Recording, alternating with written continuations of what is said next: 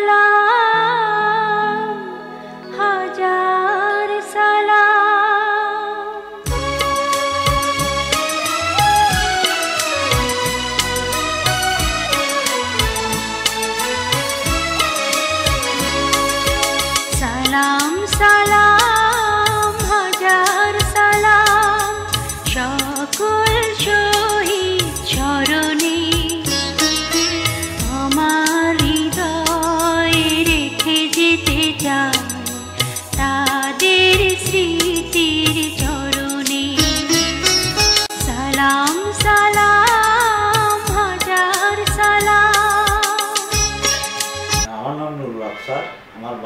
বাবার নাম আহমদ সৌদাগর চট্টগ্রাম জেলার মিরসরাই উপজেলার এগারো নাম মগাদিয়া ইউনিয়নের সবুল্লাপাড়া গ্রাম। উনিশশো উনসত্তরে গণ অভ্যুত্থানের সময় তখন রাখাল চন্দ্র বণিক উত্তর মহকুমা ছাত্রলীগের নেতা ছিলেন, যিনি উনিশশো সত্তরে উত্তর মহকুমা ছাত্রলীগের সভাপতি ছিলেন। উনারাই আমার নেতা আব্দুল মান্নান মাস্টার রাখাল চন্দ্র বণিক। ওনাদের অনুপ্রেরণায় আমরা ছাত্রলীগে, তখন আমি ছাত্র, ছাত্রলীগে যোগদান করি। এবং তখন বিশেষ করে সত্তরের নির্বাচনের সময় যখন আপনার বিভিন্ন স্লোগান হয়, এই স্লোগানগুলো দিতেন যে আমাদের আব্দুল মান্নান মাস্টার, যিনি এখনও জীবিত আছেন আকাশচন্দ্র বণিকও আছেন। বীর বাঙালি অস্ত্র ধরো বাংলাদেশ স্বাধীন করো এই জয় বাংলা স্লোগানটাও সত্তরে আসছে। ফিন্ডিনা ঢাকা, এই- ধরনের স্লোগানগুলো আমরা উজ্জীবিত হইতাম খুব বেশি। আমরা মানসিকভাবে প্রস্তুতি ছিলাম। আমি মনে করি উনিশশো সত্তরের নির্বাচনটা ছিল মুক্তিযুদ্ধের প্রথম প্রস্তুতি। সেই প্রস্তুতিতে ছয় দফাকে নিয়ে গ্রামে, গঞ্জে, বিশেষ করে আমাদের এলাকা নেতাদের মধ্যে রাখাচন্দ্র বণিক বেলাদ হোসেন চৌধুরী জিতেন্দ্র প্রসাদ নাথ মন্টু উনি আওয়ামী লীগ করতেন, আওয়ামী লীগের সেক্রেটারি ছিলেন। ওনারা সংগঠিত করছেন খুব ভালোভাবে। আমরাও ছাত্রদের মধ্যে, আমরা তো তখন জুনিয়র ছাত্র, নেতারা আমাদেরকে যেভাবে নির্দেশনা দিয়েছেন, আমরা ঠিক একইভাবে প্রস্তুত হয়েছি। সত্তরের নির্বাচনের পরে আমরা পুরাপুরি যখন আজকের এই দিন, আজকে স্বাধীনতা প্রথম পতাকা উত্তোলন দিবস, যা ডাকসুতে ডাকসুতে জানিতন সভাপতি আসম আব্দুল রফ উত্তোলন করেছিলেন। তিন তারিখে, মার্চ মাসের তিন তারিখে শাহজাহান সিরাজ পল্টনে বঙ্গবন্ধুর সম্মুখে স্বাধীনতার ইস্তেহার পাঠ করেছেন। সেখানে বঙ্গবন্ধু মুক্তিযুদ্ধের সর্বাধিনায়ক এবং ওনাকে রাষ্ট্রপতি করা হয়েছিল।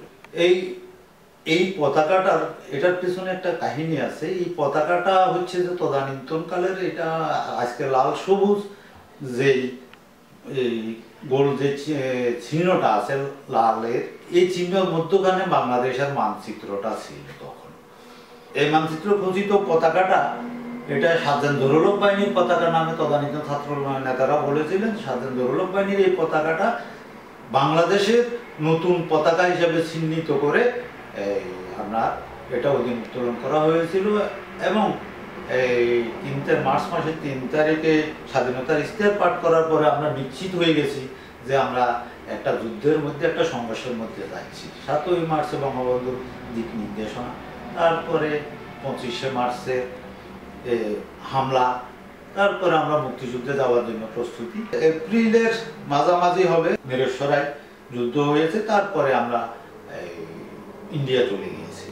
ওখানে ইন্ডিয়াতে আমরা প্রথম ট্রেনিং করেছি হরিণাতে, তারপর ট্রেনিং করেছি বগাপাট বগাপাটের প্রথম বেশ আমি ওখানে আমাদের ট্রেনিং ক্যাম্পের কমান্ডার ছিলেন যে খোরশেদ আলম ভইয়া, উনি নাই মারা গেছেন। তারপরে ওখান থেকে ট্রেনিং শেষে আমরা হরিণা আর্মি ক্যাম্পে আসছি। আর্মি ক্যাম্প থেকে ওখান থেকে আমাদেরকে যুদ্ধে পাঠানোর ব্যবস্থা করতেছেন এখন ক্যাপ্টেন উনি ছিলেন দায়িত্বে। তখন আমাদের সিও ছিলেন মেজর রফিকুল ইসলাম বীরতন এক নম্বর সেক্টর কমান্ডার উনি ছিলেন। ওখান থেকে আমরা এর গুথুমা দিয়া আমরা ভিতরে ঢুকি মিত্রবাহিনী মেজর বিকে যান ক্যাপ্টেন রাওয়াট হয়তো বা এরকম কিছু হবে, এতদিনের কথা আমার স্মরণ নাই। ঠিকভাবে নামগুলো আমি বলতে পারতেছি না ওখান থেকে। যুদ্ধে অংশগ্রহণ করে আমরা এলাকায় চলে আসি। এলাকায় আসি, এলাকাতে শেষ যুদ্ধটা হয়েছে আবুতরা বর্তাকিয়া রোডে। ওখানে লেফটেন্যান্ট রকি, এক এখানে দায়িত্বে ছিলেন, আমরা বর্তমান মুক্তিযোদ্ধা সংসদের কমান্ডার শাহাবুদ্দিন শেখ, জাফরুল্লাহ বিসি আব্দুল মনানের নেতৃত্বে, আব্দুল মনান মাস্টারের নেতৃত্বে আমাদের একটা সেকশন বারো জন আমরা একেবারে ফ্রন্টে ছিলাম। এখানে একটা তেঁতুল গাছ ছিল তেঁতুল গাছের উত্তর পাশে আমরা ছিলাম। ওখানে ওই যুদ্ধে সকাল থেকে সন্ধ্যা পর্যন্ত যুদ্ধ হয়েছে, বারো জন পাকিস্তানি আনাদার মারা গেছে। বিশেষ করে ওগুলা পাবলিকে গুলি খাওয়ার পরে, ওরা পাবলিকে ওই পিটাইয়ে মারি ফেলছে। আপনি কোন কমান্ডার আন্ডার আসছেন? মিত্র বাহিনীতে তো একটাই থাকে লেফটেন্যান্ট কর্নেল মাহবুব ছিলেন ওখানে, তারপরে মজিবুর রহমান, সুবেদার সুবেদার মজিবুর রহমান ছিলেন, যতটুকু মনে পড়ে আর কি। মানুষ যে মুক্তিযুদ্ধের প্রতি, মুক্তিযোদ্ধাদের প্রতি কত, মুক্তিযোদ্ধাদের জন্য কত, মুক্তিযুদ্ধের জন্য কত ত্যাগ, সাধারণ মানুষের, এটাই এটাই চিন্তা করার ব্যাপার, এটাই এখনকার জন্য এটা একটা আশ্চর্য ব্যাপার। মুক্তিযুদ্ধের চেতনা সবাই বলে, আমরাও বলি, অনেকেই বলেন, অনেক নেতারাও বলে থাকেন মুক্তিযুদ্ধের চেতনা। এখন মুক্তিযুদ্ধের চেতনা, প্রশ্নটা এখানে। আমরা শোষণহীন সমাজ ব্যবস্থা চেয়েছিলাম। শোষণমুক্ত সমাজ ব্যবস্থা চেয়েছিলাম, কিন্তু সেটা আমরা পেয়েছি কিনা? এটাই হলো প্রশ্ন। আগে আমরা পাকিস্তানের বিরুদ্ধে যেভাবে আন্দোলন করেছি পাকিস্তান সরকারকে হটানোর জন্য আমরা যেভাবে আন্দোলন করেছি, জনগণের কাছে আমরা যেভাবে জিনিসগুলা উপস্থাপন করেছি এখন ঠিক একই অবস্থা। বর্তমান সামাজিক অবস্থা, সামাজিক অবক্ষয়টা আমার বেশি, খুব বেশি মনে পড়ে যে এই জন্য আগে আমরা আমাদের নেতাদের সামনে বসে বাজে কোনো আলাপ করতাম না। নেতাদের সামনে বসে শুধু শুনতাম, কথা বলতাম। আমাদের কথা বলার সাহস হতো নেতারা কথা বলতেছেন, আমরা শুধু শ্রোতা হিসাবে থাকতাম এখন সেই অবস্থা নাই।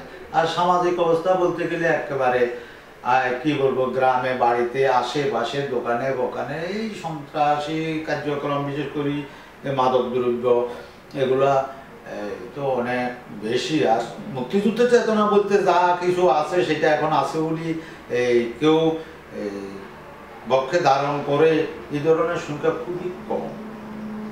খুবই কম এখন রাজনৈতিক ফায়দা লুটার জন্য অনেকে অনেক কথা বলতেছে, সেটা হলো সেটা অন্য ব্যাপার, সেটা রাজনৈতিক ব্যাপার। আমি কোনো রাজনৈতিক সংগঠনের সাথেও জড়িত নই, তবে মুক্তিযুদ্ধের চেতনায় বিশ্বাস করি বলে এখনও আমি এইটুকু মনে করি যে এখনও সম্ভব।